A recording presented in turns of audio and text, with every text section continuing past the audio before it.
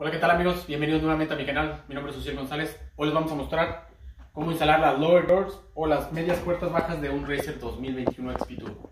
Acompáñenme a ver el video.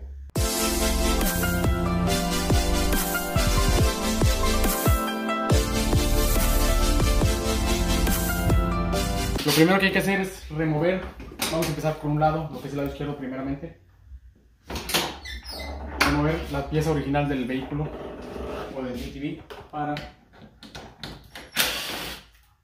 instalar ciertos um, tuercas o brackets. Una vez removida esa pieza, procedemos a instalar un clip de estos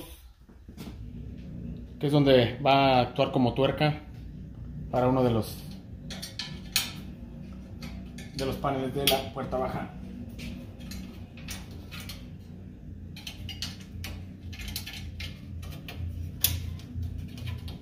Ahí está. En este caso, esta pieza, ahora se lo muestro. Esta pieza es la que va a actuar como tuerca en el lado interior del, de la puerta. Aquí vamos a instalar un pedazo, de, viene con un pedazo de cinta adhesiva lo cual que hay que limpiar perfectamente bien esta área con un pedazo de garra o algo para que la cinta uh, se adhiera bien a la, a la, puerta.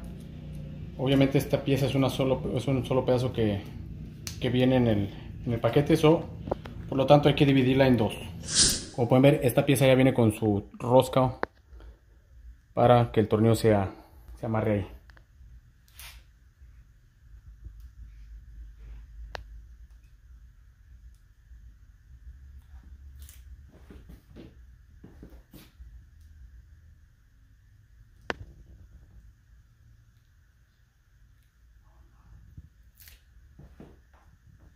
Y con cuidado tratar de que quede lo más centrado a cada hoyo de la puerta en cada uno de los hoyos para que los tornillos a la hora de instalarse por dentro ensamblen adecuadamente. Estando terminado ese paso prácticamente se vuelve a instalar nuevamente la puerta original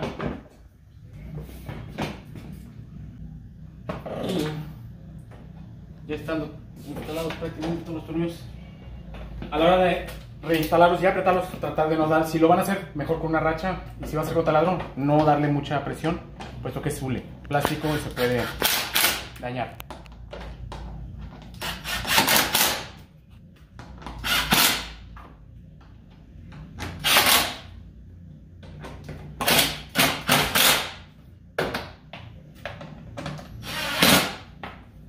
Bien, completado ese paso, procedemos a instalar la parte baja de la puerta.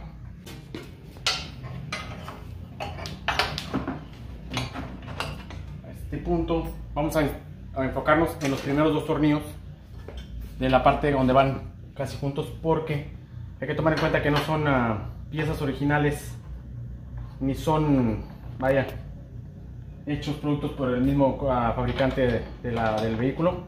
So van a venir con su pequeño detalle o pequeño punto en el que no entre. Hay que tomar en cuenta eso.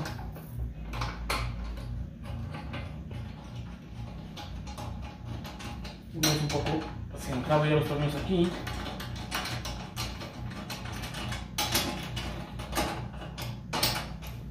Como pueden ver en esta área, en este punto de aquí, que dar un poco de presión hacia arriba para centrar el tornillo.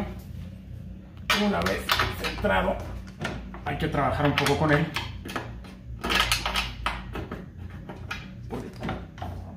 El punto es hacer lo que quede. Ok. Como pueden ver es un proceso fácil, no es de, no requiere mucha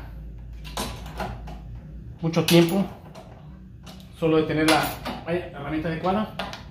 Y casi prácticamente en 20 minutos se puede instalar digo yo las cuatro puertas. En este punto ya casi está instalada la puerta. El último paso es uh, hacer un hoyo en este punto de la puerta para instalar una tuerca por dentro. Para eso vamos a utilizar un taladro con una broca. Y en este punto hay que buscar la manera de que la puerta quede lo más alta que se pueda. Hacerle uno mismo presión para que no quede muy, muy, muy, caída. Buscar uno mismo hacerle un poco de presión hacia arriba. Estando hecho el hoyo, instalamos el tornillo, tenemos la tuerca. Ahora pues vamos a apretar el último tornillo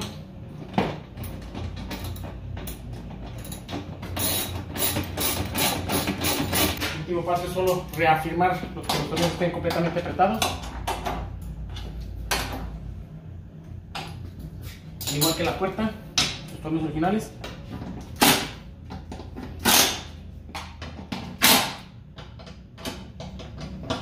Presión, obviamente.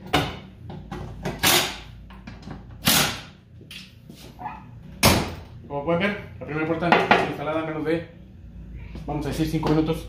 Sigamos con la que con la trasera izquierda y avanzando.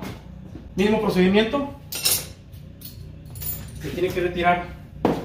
En este caso, bueno, la puerta en sí, retirarse no se tiene que hacer porque aquí no vamos a pegar ni un tipo de, de bracket por dentro. Aquí sí hay solo cuestión de hacer la instalación adecuadamente poniendo cada una de los orificios ah, el soporte que lleva. Como pueden ver, es un poco incómodo ah, alinear los hoyos. Vuelvo a repetir por el hecho que no son puertas originales, son aftermarket, las metadas aftermarket que dicen.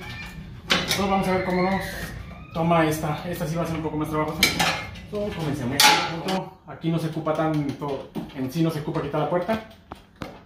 lo que vamos a hacer es batallar un poco a la hora de instalarla por el hecho de que no dan exactamente como quisiéramos pero eso vamos a tener que trabajarlo. Vamos a ver cómo hacer esto aquí.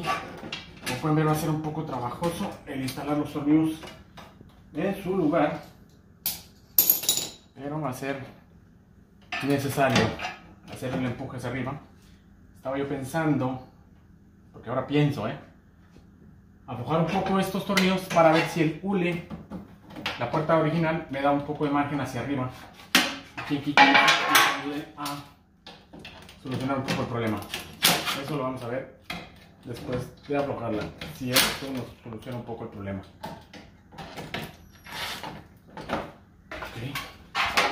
Ahora vamos a ver. Aparentemente no hubo mucho cambio, al menos no de este lado. Vamos a ver acá. Instalando un tornillo con el otro nos podríamos poner a trabajar. Parece que se entró. Sigamos con el otro. El cual, este sí nos va a dar un poco más de. Pero, que al igual tiene que entrar sí o sí. Ah, parece ser que logramos que entrara. Vamos a ver.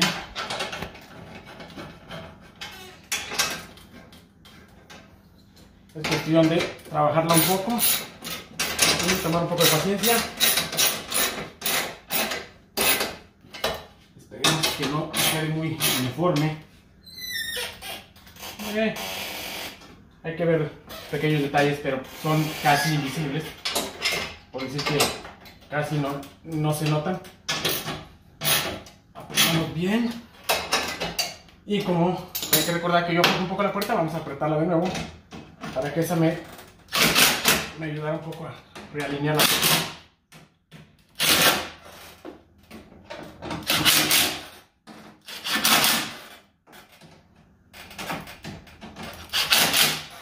y vemos qué tal.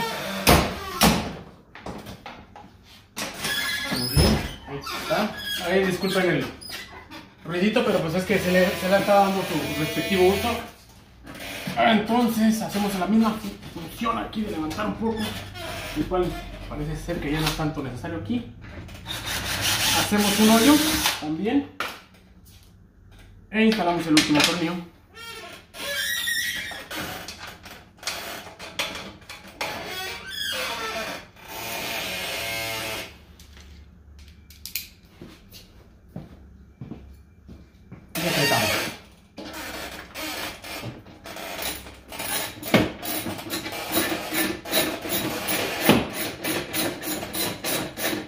pueden este lado ha sido terminado. Vamos a ver cómo queda el otro.